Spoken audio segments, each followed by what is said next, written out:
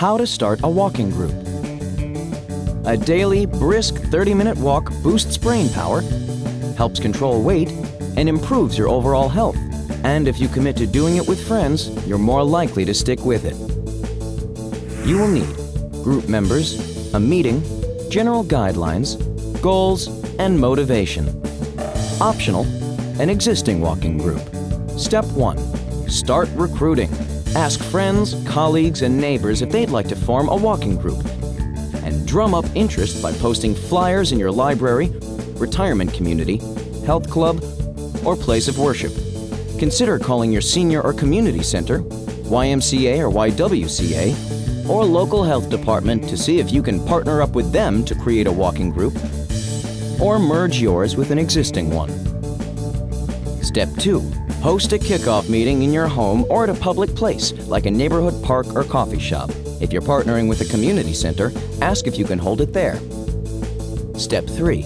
Decide when, where, how long, and how often you'll walk together. Work out some guidelines, like whether or not you'll walk when it's raining, and whether members need to notify the group if they can't make it. Exchange contact information and agree on a starting date.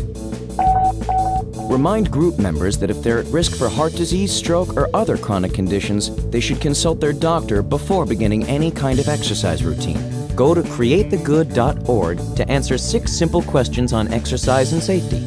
Step 4. Set group goals, such as increasing the amount of time you walk each week or incorporating more difficult terrain, like hills. Sign up everyone for an online program like AARP's free Get Fit on Route 66, which lets you take a virtual trip across America as you keep track of the miles you've walked. Step 5. Encourage members to set individual goals, like eating a healthier diet. Investing in a step counter can help them track their progress and stay motivated. Download goal setting charts, scavenger hunt ideas, and other walking group resources at createthegood.org. Step 6. Keep the group interesting by joining charity walkathons or 5K races, organizing an all day or weekend hike, or spinning off a dinner or book club. Step 7. Help each other stay motivated by inviting local speakers to talk about fitness and healthy eating. Contact your local health department, university, or sports medicine clinic for suggested speakers. Find an ACE certified personal trainer to speak to your group by going to createthegood.org. Step 8. Recognize group members who have lost weight or improved their health thanks to the walking group.